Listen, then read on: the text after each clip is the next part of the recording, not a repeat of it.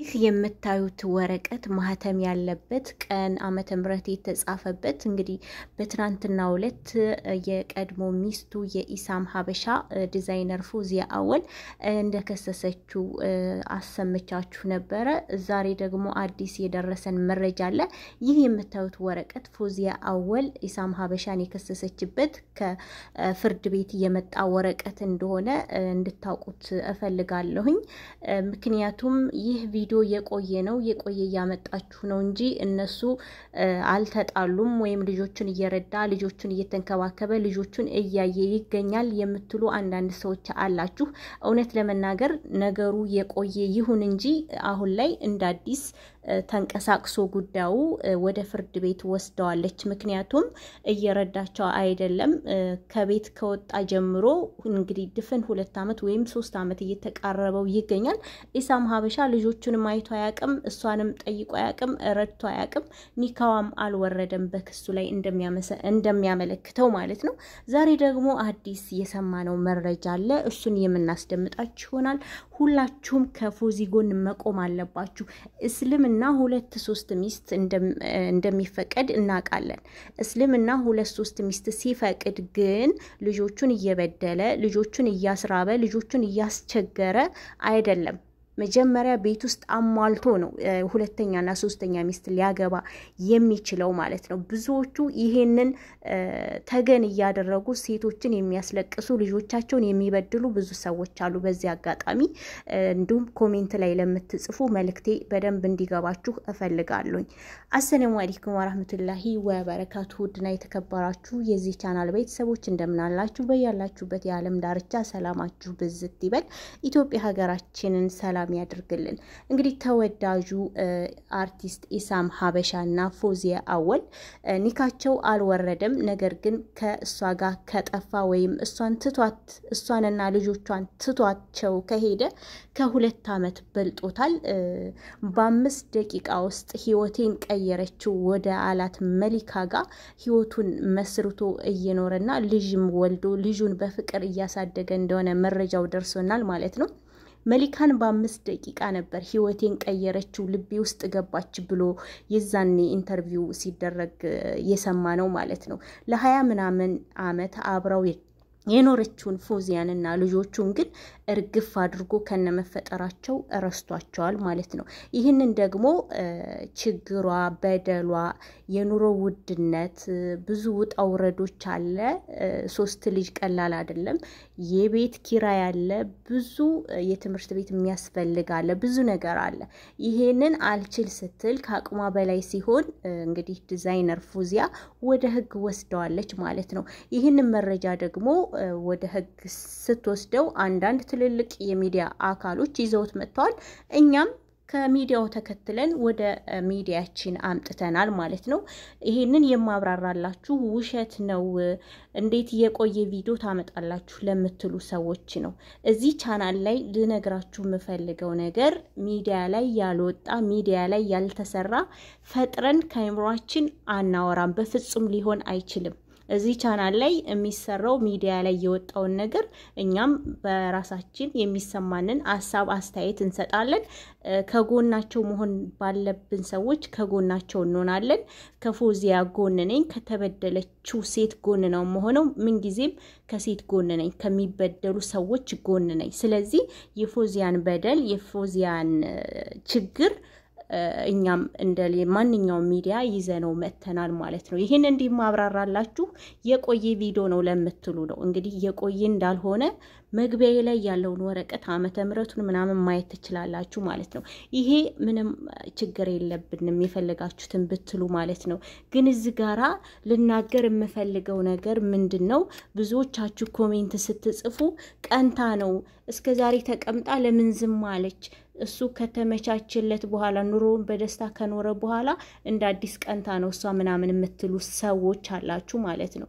እሷ እኮ ልጆቿን በቻለችው አቅም እያሳደገች ነው። አሁን ግን የኑሮ ውድነትን በጣም ፎቅ ስለሆነ የቤት ኪራይ ያለ ሶስት ልጅ ማስተማር ለተለያዩ ወጭ ስለሚያስፈልጋት ወጭ ያስፈልገኛል ለልጆቹ ተቆራጭ ያድርግ ብላ ነው የከሰሰችው እንጂ ቀንታ አይደለም። እና ደግሞ አልፈታትም፣ ኒካዋ አልወረደም። ሀላስ አንድ ሰው ካልፈለገች አንድ ሴት ለሁለት መቀመጥ መብቷ ነው። ኒካዋ እንዲወርድ መጠየቅ እስልምና ይፈቅዳል ትላላችሁ? አዎ ይፈቅዳል። እስልምና ግን የሚፈቅደው የድሮ ሚስቱን የመጀመሪያ ሚስቱን እየበደለ የመጀመሪያ ሚስቱን እየጨቆነ ሳይረዳት እየተቸገረች ልጆቹ እየተራቡ እየተጠሙ ሳይሆን ሁለቱንም እኩል ማስተዳደር ሲችል ነው። አላህ ስብሐነ ወተዓላ ምን ብሏል? መልካም ሰው ማለት ልጆቹን፣ ቤተሰቦቹን፣ አካባቢዎቹ ዘንድ ያለን ሰው የሚንከባከብ የሚረዳ፣ የሚያዝን ብሏል። አላህ ስብሐነ ወተዓላ ጥሩ ሰው ማለት ማለት ነው እንጂ ሚዲያ ላይ እየወጡ እያስመሰሉ ልጅን እያስቸገሩ ልጅን እያስራቡ ለልጅ ምንም አይነት ወጪ ሳይሰጡ ሚዲያ ላይ ወጥቶ አላህን ስለምፈራ ነው ፊልሙን የተኩት እንዲህ እንዲህ ወደ አላህ ተመልሼ ነው ላላላ ሀቢቢ ማይንፋ ይሄ ይሄ ማይንፋ አንዳንድ ለምታሽቃብጡ ማለት ነው የእሷ በደል አልሰማችሁ ብሎ ለምታሽቃብጡ ነው ይሄን እየነገርኳችሁ ያለሁት። እሷ እስከ ዛሬ ዝም ያለችው በተቻለኝ የእናትነቴን አደርጋለሁ ብላ ነው። አሁን ደግሞ በቃ አልቻለችም። እንኳን እሷ ስንት ባለሀብቶች አልቻሉትም የኢትዮጵያ ኑሮ ውድነት። እሱ እዛ በፍቅር ልጁን እያሳደገ ቢያንስ ልጆቹን እኮ የአባትነት ፍቅር አላሳያቸውም። ልጆቹን እኮ አይቶ አያውቅም። እንደተባለው ከሆነ የዛን interview ከተደረገ በኋላ ቤታቸውም ሄዶ አያውቅም፣ ልጆቹንም አይቶ አያውቅም ነው የሚባለው ማለት ነው። ለምን አይገባችሁም? ለምን አይገባችሁም? በዛ ላይ ደግሞ ኒካ አልወረደም።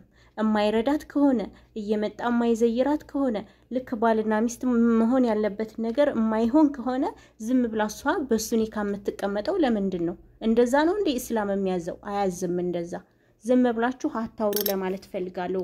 እየመጣችሁ comment የምትጽፉ ሰዎች ማለት ነው። እሱ የነካውን አላቅም የነካውን አላቅም። በልጆቹ እንደዚህ መጨከን ግን አላህ የማይወደው በልጆቹ ይህን ያክል መጨከን አላህ የማይወደው እና አንዳንድ commentator ኦች ከእሷ ጎን ልትሆኑ ነው የሚገባው። እጅግ በጣም ጎበዝ ሴት ናት። ጠንካራ ሴት ነች። ገብታችኋል? ጠንካራ ሴት ነች። ስለዚህ ፍትህ የምታገኝበትን ማመቻቸት እሷ ለልጆቿ ጠንካራ ሆና የበለጠ እንድትቆም እሷን መርዳት ነው እንጂ ያለብን እየመጣን comment ላይ መጻፍ ውሸት ነው፣ እንደገና ቀንታ ነው፣ አሁን ትዝ አላት ምናምን የምትሉ ሰዎች በእውነት በጣም ነው የምታሳፍሩት። ምክንያቱም እሷ በጣም ጀግና ሴት ነች። ከጎኗ ያለችው ጀሚላ የኢሳም ሀበሻ እህት አብራት ነው እስካሁን ያለችው። ገባቸው አይደለ? እኒህ ልጆች አባት ያስፈልጋቸዋል። የአባት ፍቅር ያስፈልጋቸዋል። የአባት እንክብካቤ ያስፈልጋቸዋል። እኔ በጣም ይገርሙኛል። አንዳንድ አርቲስቶች ውጭ ላይ ለጋስ ይሆናሉ፣ ውጭ ላይ ሰጪ ይሆናሉ። እዛ ጋር ግን ልጆቻቸውን ዞር ብለው አያዩም። ልክ እንደ ንብረት ግለው ማለት ነው። በእምነት በኩል እየተደበቁ ወጣ ይሉና መልካም ነገር እንደሚሰሩ ካሜራ ፊት ጥሩ ነገር ያደርጉና ነገር ግን ቤት ውስጥ ልጆቻቸውን የማይጠይቁ ልጆቻቸውን የት ወደቃችሁ የማይሉ ስንቶች አሉ፣ ስንቶች አሉ። ያኛው ወንድ ልጁ አሁን የወለደው አባቱ ጋር ሲያድግ በፍቅር ሲያድግ፣ እነዚህኞቹ አባት ያምራቸዋል። በፊት ያሳያቸው ፍቅር ይናፍቃቸዋል። በፊት የሚያደርግላቸው ነገር ይናፍቃቸዋል። ብዙ ነገር ለምደዋል። እኔ ልጆች ብዙ ነገር ያስፈልጋቸዋል። የለመዱትን ሲያጡ አይምሯቸው፣ ስነ ልቦናቸው ይጎዳል። ቢያንስ ለልጆቹ ማድረግ አለበት። እሷም የጠየቀችው ልጆቹን ነው። ለልጆቹ መርዳት አለበት። አልቻልኩም፣ ብቻዬን ከዚህ በላይ አልቻልኩም ነው ያለችው ማለት ነው። እና ውሸት ነው ለምትሉ ውሸት አይደለም። አዎ ከዛሬ ሁለት ዓመት በፊት ነበር ይሄ ነገር የተፈጠረው። እስከ ዛሬ ግን ዝም ብላ ነበር፣ ችላ ነበር። ከአቅሟ በላይ ሲሆን ወደ ህግ ወስደዋለች። ያልሆነ ወሬ ፈጥረን ምናምን አላመጣንም። ትክክለኛ ወሬ ነው እያወራን ያለ ነው። የተወራ ወሬ ሚዲያ ላይ የተፈጠረ ነገር ነው። ይህ ደግሞ እውነተኛ መረጃ ነው። እንደውም ሰኞ ቀጠሮ አላቸው። ሰኞ ነው የፍርድ ቤት ቀጠሮ ማለት ነው። የዛኔ ምን እንደሚፈጠር ምን እንደሚካሄድ እናስታውቃችኋለን። በዚህ በኩል ዝም አንልም። ፎዚያ ፍትህ ማግኘት አለባት። አስባችሁታል? እንደኔ እንደናንተ እኮ ነው ሚዲያ ላይ ማግባቱን የሰማችሁ ማግባቱን ብትሰማስ ይፈቀዳል ምናምን ብላችኋል። በዚህ መልኩ አይደለም እስልምና የሚያዘው። እስልምናን እንደ ጭራቅ አትዩ። እስልምና ለሴት ልጅ ክብር አለው። መንገር አለመንገር ግዴታ ላይኖርበት ይችላል። ልጆቹን የመርዳት ልጆቹን የመንከባከብ ሚስቱን ደግሞ እስካልፈታት ድረስ በሱ ስር እስካለች ድረስ ሀቋን ሊጠብቅ ይገባል። ይሄ ነው እስልምና የሚያዘው።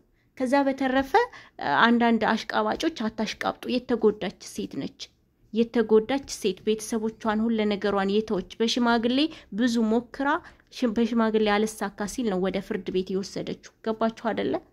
ዝም ብሎ ማውራት ተገቢ አይደለም። እና ውድ ቤተሰቦቼ ከፎዚያ ጎን መሆን አለብን። አሁንም የምነግራችሁ ይሄን ነው። በሰኞ የሚፈጠረው ነገር ደግሞ እናሳውቃችኋለን። ሁሌም ከተበደለ ሴት ጎን ቁሙ። ሴት ብቻ ሳይሆን ከተበደለ ሰው ጎን ቁሙ። በብዛት አርቲስቶች ሚዲያ ላይ ይወጡና ካሜራ ላይ ይወጡና መልካም መልካም ጨዋ ጨዋ ሃይማኖተኛ ሃይማኖተኛ ያጫውታቸዋል። እነሱ ግን ውስጣቸውን ውስጡን ለቄስ ይላል አማራ ሲተርት። ለማንኛውም በልጆችህ ባትጨክን ጥሩ ነው። አንድ አላህን የሚፈራ ሰው አንድ አማኝ የሆነ ሰው በልጆቹ መጨከን የለበትም። በአካባቢዎቹ ባሉ ሰዎች መጨከን የለበትም። በቤተሰቦቹ መጨከን የለበትም። አላህን እፈራለሁ፣ አላህን እገዛለሁ የሚል ሰው ማለት ነው። እንግዲህ የሰማነው ይሄንን ነው። ልጆችን እንደማጠይቅ ልጆችን እንዳላየህ ለልጆች ተቆራጭ እያደረግክ እንዳልሆነ ነው እየሰማን ያለ ነው። እንግዲህ ዛሬ ይዤላችሁ የመጣሁት ይሄን ነው። ወዳችኋለሁ፣ አከብራችኋለሁ። ስለነበረን ቆይታ ከልብ አመሰግናለሁ። የሰው ህይወት አያገባንም፣ የሰው ህይወት ለምንድን ነው የምታመጡት ምናምን የምትሉ የሰው ህይወት መስማት ማየት ካልፈለጋችሁ ቪዲዮን አለመክፈት ትችላላችሁ። ይህ የኔ ቻናል ነው። የፈለግኩትን መስራት መብት አለኝ ማለት ነው። እዚህ ጋር የእሷ ህይወት ለሌላው ያስተምራል። ጥንካሬዋ ያስተምራል። ጉብዝናዋ ያስተምራል። እናትነቷ፣ ፍቅሯ ያስተምራችኋል። እንደዚህ አይነት ችግር ለሚደርስባችሁ ማለት ነው። ሚዲያ ላይ ሆኖ ለምን ይሄንን አወራችሁ፣ ለምን ይሄንን ተባለ ማለት አይቻልም። እና ይሄንን ይመስላል። ተሳዳቢ commentator ኦች ደግሞ እውነት ነው፣ ውሸት አይደለም።